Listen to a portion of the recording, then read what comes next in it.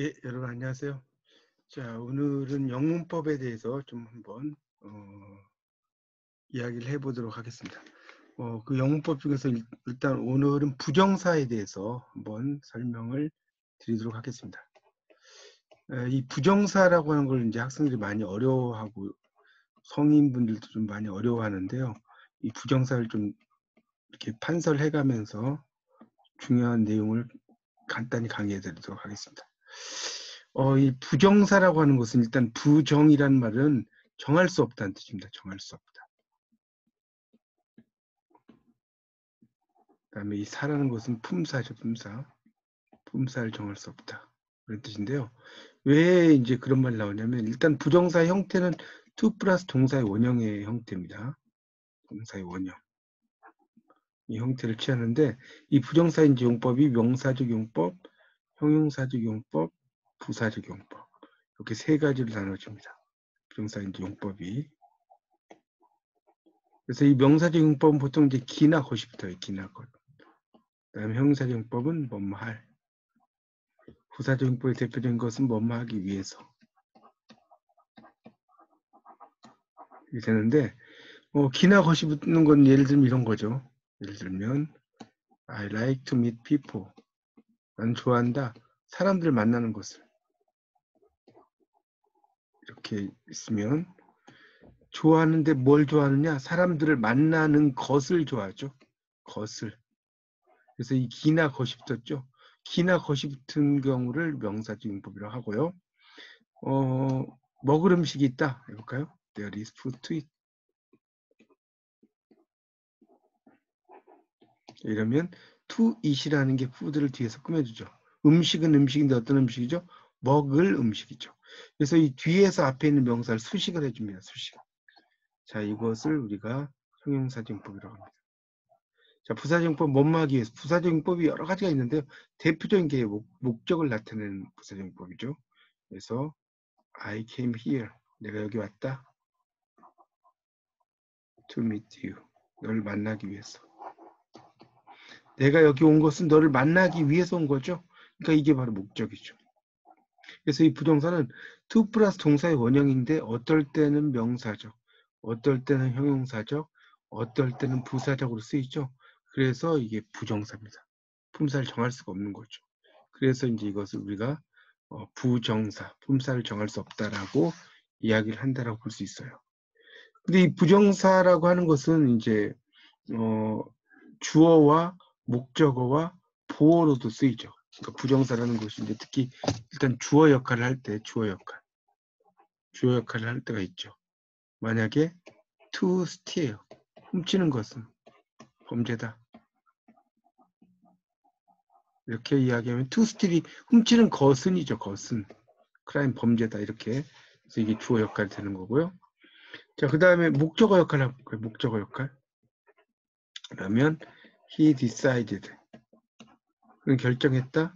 to learn 배우기로 French 프랑스어를 프랑스어를 배우는 것을 것을 결정했다는 거죠.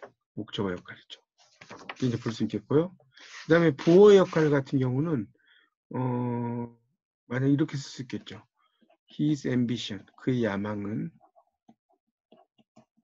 is to be a 뮤지션, 음악가가 되는 것이다. 그 음악가가 되는 것이다죠. 비동사 is 다음에 to be가 나왔죠. 이게 보어죠. 보어. 보충하는 말.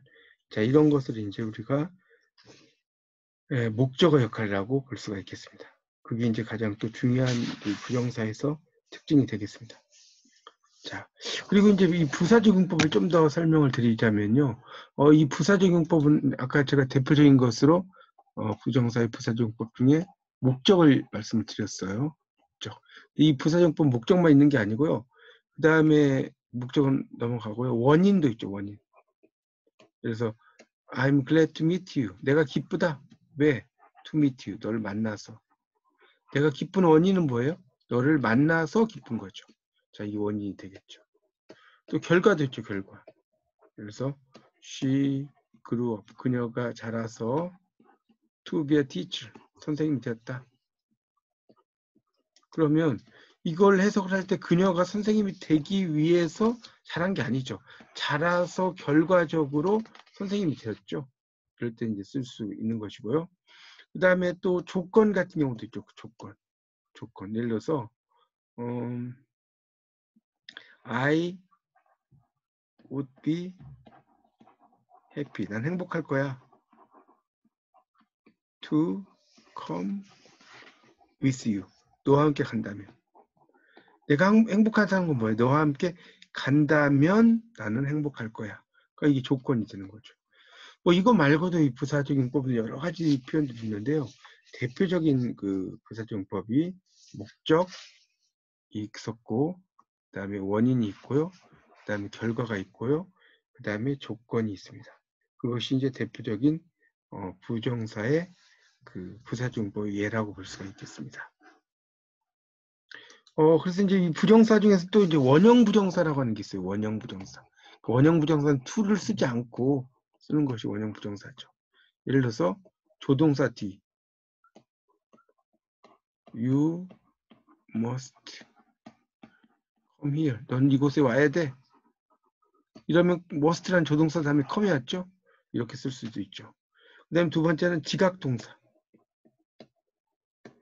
의 목적격 보어죠. 이 지각 동사는 알고 깨닫는 동사죠. 알고 깨닫는 동사. 그래서 I saw her dance. 나는 그녀가 춤추는 것을 봤다. 이 게 지각 동사, 목적어 동사의 원형을 쓴 거죠. 쓸 수 있고요. 세 번째는 이 사역동사. 이럴 때 이제 목적격 보어를 쓰겠죠. 예를 들어서 어, I will have him do it. 나는 그가 그 일을 하도록 하겠다. have는 여기서 시키다는 뜻이거든요. 그 다음에 him, do라는 동사의 원형이 왔죠. 이렇게 쓸 수 있고요. 또는 이제 뭐 had better 동사의 원형. 그러면 원만 하는 편이 낫다는 뜻이죠.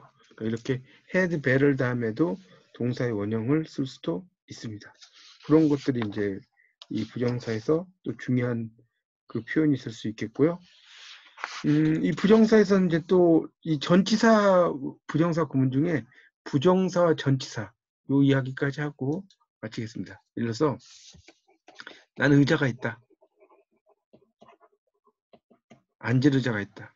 그러면 얼핏 보면 이게 맞을 것 같죠? 앉을 의자니까 의자는 의자인데 근데 이럴 때는 어떻게 되냐면 이 두 부정사 앞에 있는 명사를 두 부정사 뒤에다 빼면 돼요. 어째요? 그러면 의자를 앉아요? 의자 위에 앉아요? 접촉해서 위죠? 오늘 써야 돼요. 반드시.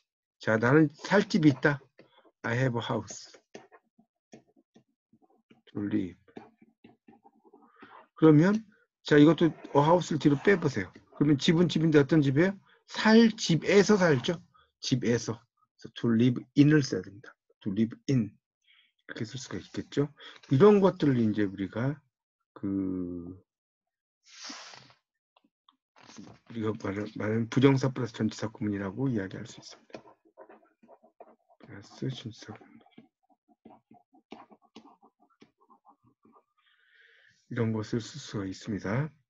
자, 그 다음에 또 이제 의문사 플러스 부정사의 구문이 있죠. 예를 들어서 나는 무엇을 할지 몰라. I don't know what to do.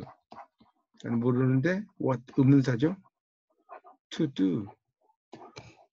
무엇을 해야 할지. 그래서 이렇게 의문사와 부정사가 또 함께 쓰이는 경우도 있다는 거.